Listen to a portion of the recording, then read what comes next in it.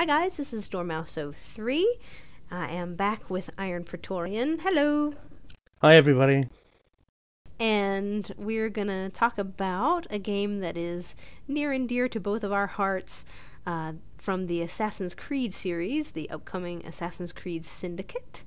Uh, so tell me first, what what is the first thing that stands out to you uh, about this game and your hopes for it?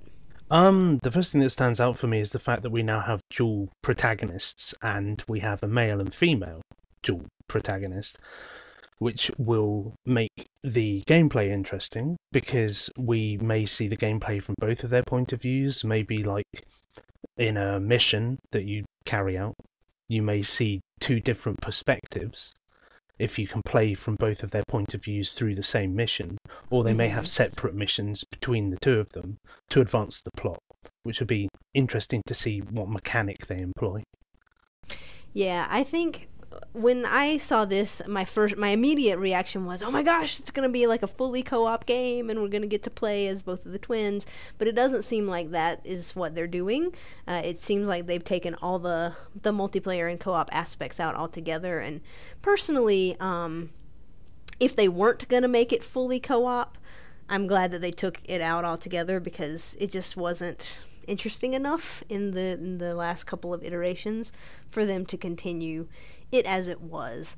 Uh, but I agree. I think it's interesting to see the two different assassins. It's nice to see another female protagonist, and like like you said, my hope is that they are going to have, for the majority of the missions, a choice between one or the other. And I would really like to see, you know, being whichever one you choose, you kind of have a different path through that mission and that will give you the ability to choose whether you want to go stealthy or more um, run in and, and hit and kill things uh, play style, and it'll also give you the added replayability of being able to go back and play the opposite way. So, um, one thing that the Assassin's Creed series for me has not had really is that replayability factor, because once you play through and you've leveled up, I don't really care to go back and play through again necessarily. Um, but if there's a- another way to move through the game uh, that I haven't seen, it will encourage me to play it again to see that other side. So that's pretty cool. Um, how about the setting? Yes, it's um interesting to see London in this time period because it's when the British Empire was at its height. So London is like a large centre of trade, and it's also the heart of the Industrial Revolution. And also, London is a very diverse city with lots of different areas within it, and they all have their different character. So you have like Buckingham Palace for the the royalty, and then you have Westminster for Parliament, and then maybe some of the like lower grade areas for the normal people. And to see the city sort of um, maybe like the higher class areas look better and the lower class areas are a bit more slums and then you have the industrial section which really doesn't exist anymore because london's moved away from being an industrial city to a more like financial based city in Mhm. modern times Very cool. Uh, so yeah, I'm I'm excited to see this setting. I think it's it's cool to see a more modern Assassin's Creed, uh, which is which is pretty neat. Uh, and one thing that stood out to me in hearing some of the interviews was that these two, our two protagonists, are going to be born as assassins. So they're going to be born into it. Whereas all the other assassins that we've seen previously have, we've seen them sort of join the assassins and get in, inducted into the Brotherhood and build them up. And it, I think it'll be a nice change of pace to not have to do that again. You know, you don't have to go through and um, and join and figure oh my gosh, they're assassins. It's like, of course they're assassins. This is the like seventeenth game in the series. We know, so I I think that that's nice. it's also nice that we're going to know who the uh, antagonists are we already know the templars are controlling london it's like brotherhood where you already know the villains and you have to work out a way of trying to you know weaken them and then depose them and move it towards an assassin like occupied area rather than a templar influenced one which will be interesting to see again Yes, I think so too. Um, so, what are your thoughts on the weaponry? Um, I think it's interesting to show that they've moved away from like displayed weapons like broadswords and pikes and such, and towards like more concealed items that would be more socially acceptable, like the cane sword, where it's a sword that's hidden inside a cane. That when you use it, you become more like a high profile target rather than the right. hidden blade, which as always has been hidden and you can assassinate people discreetly. I like the idea of having more versatile throwing knives that have more functions than just killing a target. So you can use them to create a distraction or maybe disarm somebody, and that will give you more avenues of uh, interesting combat mechanics. Yeah, definitely. I think the stealth looks like they've improved it. They said that they're going to have a, a, soft lock instead of a hard lock as you you know move into cover and that kind of thing.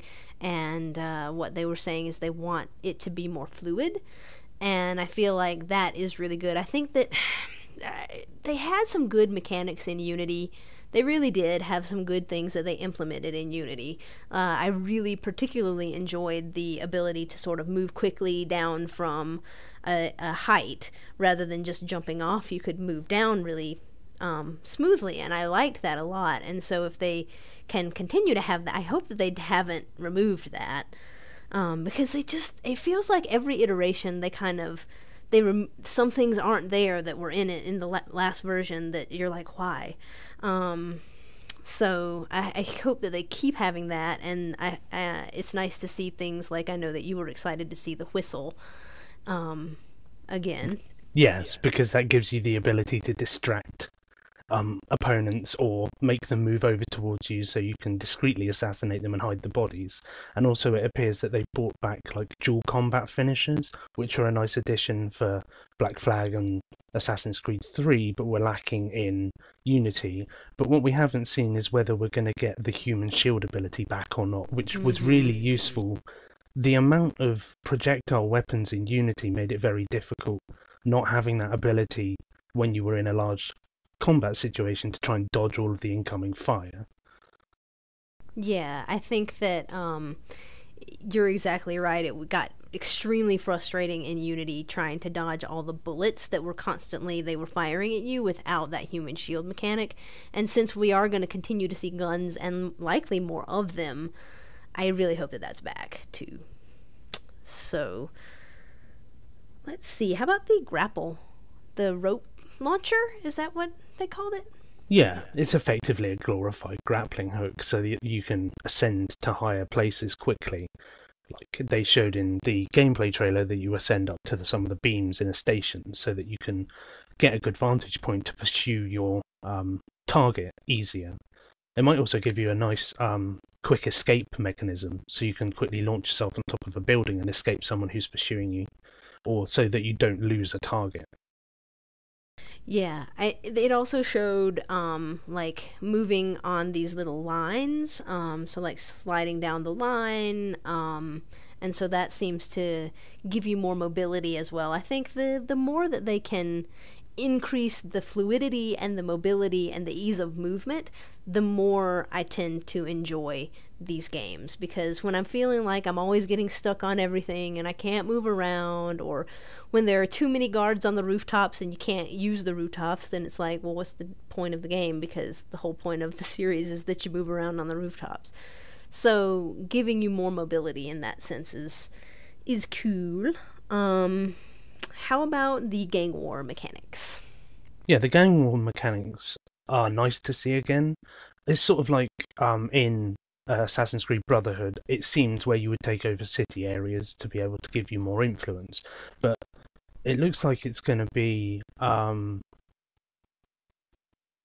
more fleshed out so mm-hmm. that you can m- maybe you may need to claim city areas to unlock the next story missions or certain targets will only become available when you've unlocked certain areas that they're hiding in to be able to flush them out right yeah i think the gang war mechanics seem pretty pretty cool how did the combat in general look to you it looked a lot faster paced and they said that it would be because they're moving away from you hanging back in combat to wait for someone to attack you to counter, and that you need to move in and stun them before they can attack you all at once. So it seems Mhm. more fluid, like you need to be proactive in taking multiple targets down in a fight before they can overwhelm you, which seems to make more sense now with not having the like defensive capabilities of being able to parry with swords and other such weapons that you would u- would have used in the past.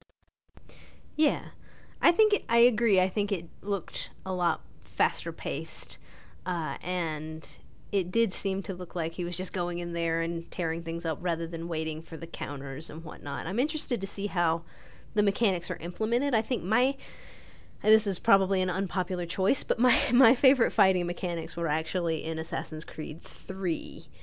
Um, I just felt like that was kind of, for me, the height of the being able to block and take do the multiple counters and do the finishers and it didn't feel like there were enem- any enemies that were overpowered. Like each one you, like this this type of enemy you needed to disarm and then you could kill them. Or this type of enemy you needed to counter. Or this type of enemy if you countered them they smacked you in the face. So you needed to not do that. So you had a little bit of strategy with each enemy type. It just flowed really well for me personally. So I'm interested to see. I know they tweak it every time, um, and so I'm interested to see how it all kind of shakes out. So. The cart mechanics. You can now hijack carts. You can hide in them. You can drive them them down the or carriages, I guess. Um, yeah, you can, carriages. They're not cart. I have my little cart that I'm wheeling along. um, no, it's carriages. So you can hijack a carriage. You can hide in the carriage. You can hop. You can get on top of it, and you can hop from carriage to carriage. Yeah. Um, and you can do sort of like racing after your targets, um, or just you know driving them down the street. What do you think about the carriage stuff that you've seen so far? I think it's probably been implemented to replace the horse mechanics for some of the other Assassin's Creeds because Mhm. the time has moved on, and also that there are a lot of carriages within London at this time, and also the they were talking about the ability to be able to get a group of gang members together to come with you, and that Mhm. if you hijack a carriage and there's not enough room for all of your gang members, then they will go and hijack their own carriage and follow you rather than you losing a number of gang members because there's not enough room, which I think is a really awesome mechanic and it would be nice to see um, whether you can use it as a combat platform so you could maybe do some form of drive-by shooting on a target with a carriage and Yep. Yeah. So I mean, to me, I I like the idea of it as long as it's implemented well. I think in certain ones the vehicle and slash horse mechanics have been better than others and as long as it's not this like clunky awkward thing that you're trying to move around then i, I think that it'll be cool. Um, they also mentioned that that the civilian ai is going to be a little bit brighter uh, because obviously if you kill civilians that desynchronizes you. Uh, but so you're like oh, well how am i going to race this carriage down a crowded street? I'm obviously going to run over people. What they said was is that people will jump out of the way of you so that you're not going to constantly get desynchronized when you're trying to drive down the street which i think is very good because that would be incredibly irritating. And i can just imagine one of those 100% synchronization things is not hit anybody while you're driving the carriage. that would seem to be one of the things they would put in with a new mechanic like that Uh huh. Yeah. on a different note i would like to see more modern day content because unity was definitely lacking in any progression through the modern day story which i know everyone loves the assassins in the past but the main the main story of assassin's creed is the modern Mhm. day and how like is Juno going to take over the world, or are the assassins and the Templars going to stop them, or is one of the two factions going to da- gain complete dominance over everything? And with Unity, it's you have a few conversations and that's it, and it felt very lacking in modern story progression. And I would like to see more content. Yeah. I think that they they started to move away from the modern day storyline after Assassin's Creed 3, I believe. Be- they had some of it still in Black Flag, and then I don't know about Rogue because I haven't played Rogue. You have. I would say that there's about an equal amount of modern day content in Rogue compared with Black Flag. Maybe a little more in Black Flag, but it's definitely more fleshed out modern day content wise than Unity was. Okay.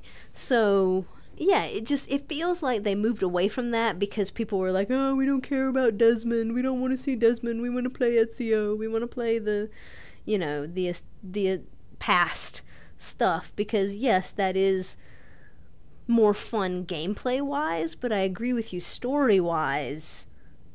I want to know what's going on with that modern day story. I know that they've made it a little complicated and convoluted, but I, I would still like to see what's happening with that and, and where the assassins and templars are now because the whole idea of the series is that you start in the modern day you use this um, dna memory sequences to be able to go back and replay things from the past to find something to inform the the present.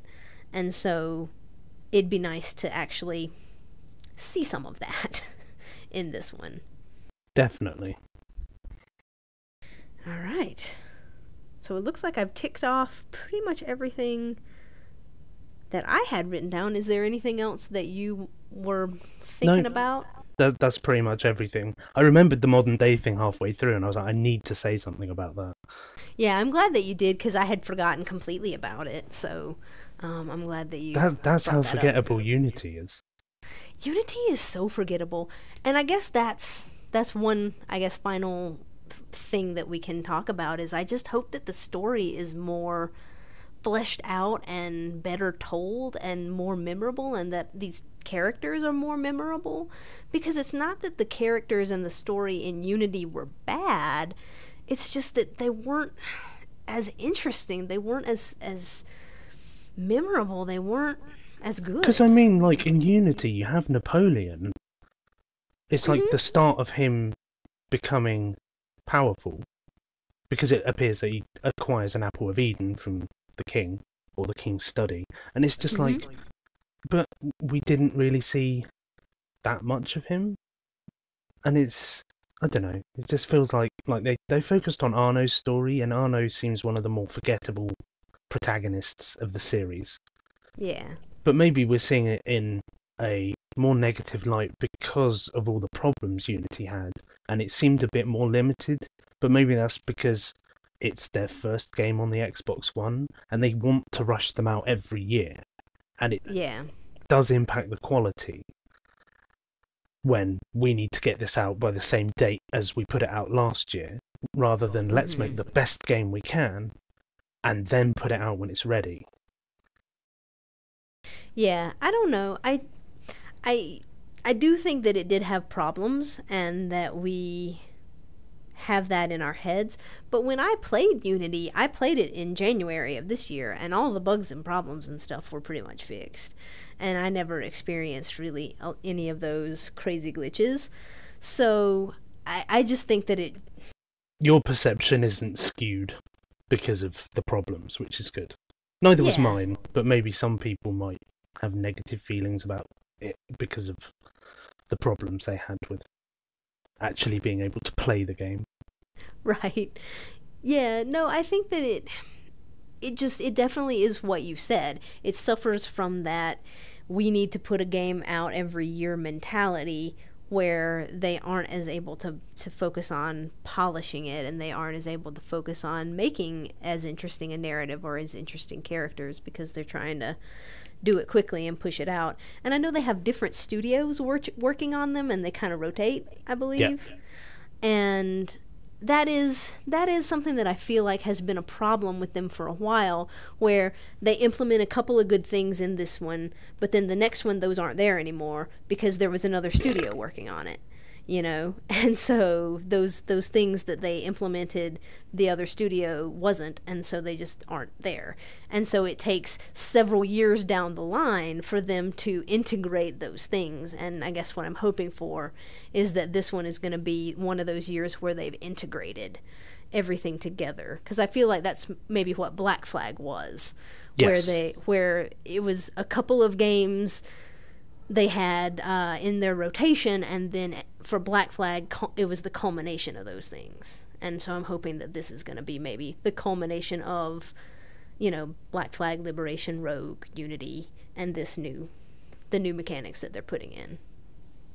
Yep, I'm hoping that they learn from their mistakes with Unity and that we will have a first class game again. Yes, indeed. I know this is this is a series that's really important to you. Would you say is this your favorite series? Second favorite after Mass Effect. Mm-hmm. So it's kind of like this is your baby, and you want it Indeed. to be good. I, I want to see more, more of everything. More of everything, and I want it to be good, and I want it to be polished, and I don't want it to have bugs. Is that too much to yeah. ask for?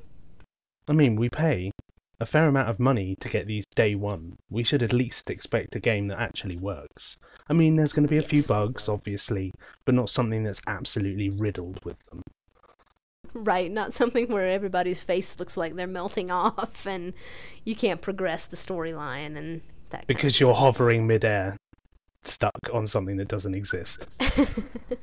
yeah. No, I mean, I think absolutely. Maybe we we can't expect to have everything that we want, but we should we should at least have the expectation of having a game that is playable. Definitely.